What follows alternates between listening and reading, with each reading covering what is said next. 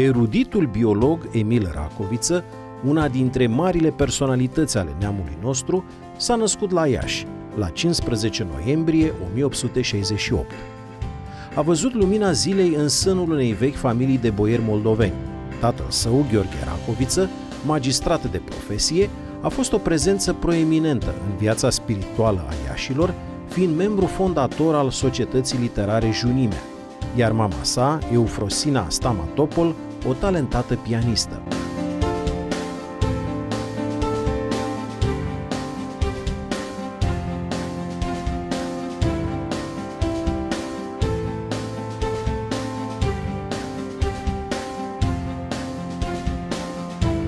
și a început studiile la școala din Păcurarii Iașului, lăsându-se pătruns de farmecul fără seamăn al povestirilor dascălui său Ion Creangă, pentru a și le încheia la Liceul Institutele Unite, unde a fost elev al renumitului Grigore Cobălcescu.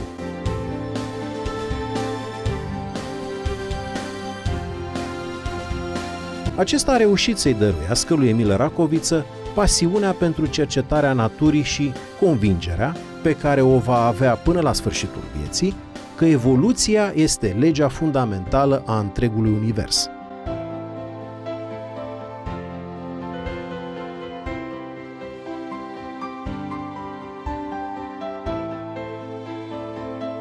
În 1886 își ia bacalaureatul pentru a urma cursurile facultății de drept, dar în același timp a frecventat și cursurile de antropologie de la Sorbona. La Paris, Emil Racoviță nu s-a limitat la a fi un student sârguincios, ci a devenit membru activ al Cercului Studenților Socialiști și apoi membru al Partidului Socialist francez.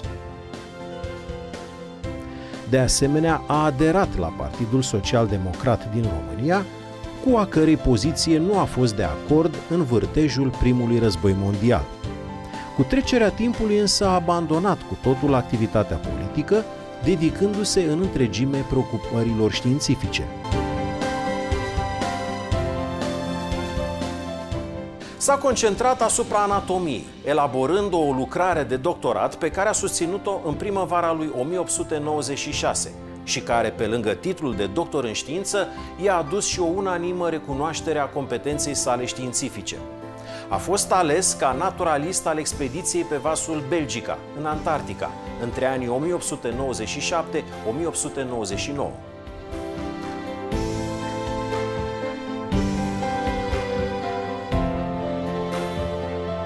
Pentru Emil Racoviță, expediția a constituit un extraordinar prilej de a-și șlărgi orizonturile, în condițiile deosebit de grele ale iernii petrecute dincolo de cercul polar.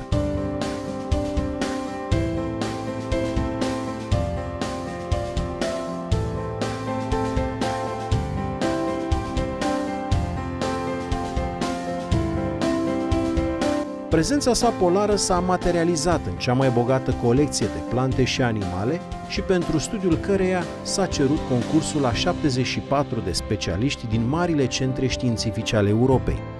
Recunoașterea meritelor în reușita expediției i-au adus titlul de membru corespondent al Academiei Române.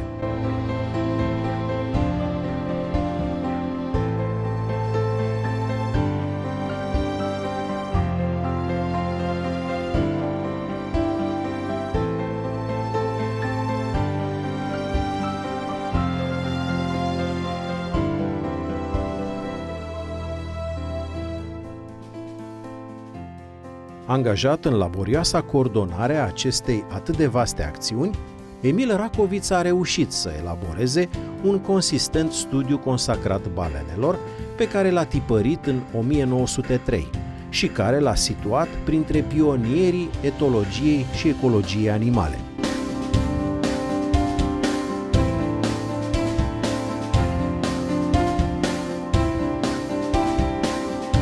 În vara lui 1904 a vizitat celebra peșteră Cueva del Drach din insula Mallorca și a descoperit un mic crustaceu, primul animal cavernicol pe care l-a pus sub obiectivul microscopului și care prezenta foarte multe asemănări cu ființele marine deja cunoscute. A întemeiat, pe baza studiilor făcute, știința numită biospeologie, adică studiul vieții în peșteri. Cei șapte ani care s-au scurs până la izbucnirea primului război mondial au fost pentru Emil Racoviță perioada cea mai fertilă din creația lui științifică, fiindcă în acești ani și-a putut elabora lucrările biospeologice cele mai substanțiale. Toate au avut ca subiect studiul crustaceelor izopode.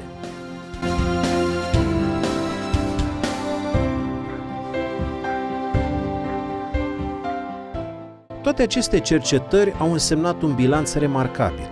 800 de peșteri explorate de racoviță în Europa și în nordul Africii, în urma cărora s-a adunat o colecție însumând 20.000 de șantioane de faună cavernicolă.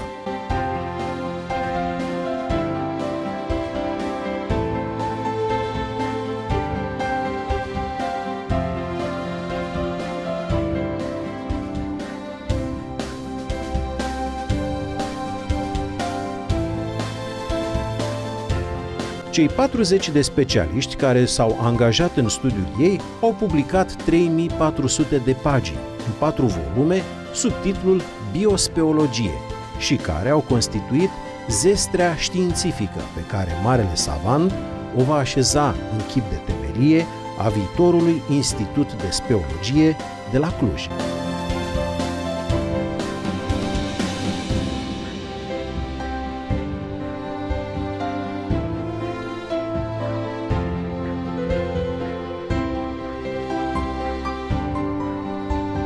A fondat Societatea de Științe din Cluj, Asociația Transilvană pentru propagarea limbii și culturii franceze, a fost membru și apoi președinte al Asociației Profesorilor Universitari din Cluj și membru al societății Astra. Din 1926 până în 1929 a fost președintele Academiei Române. Odată cu dispariția profesorului Emil Racoviță, la 19 noiembrie 1947, națiunea a pierdut unul dintre fiii ei cei mai de seamă, o personalitate de excepție, un om care a fost în același timp pionier al științei și slujitor fără de odihnă al societății.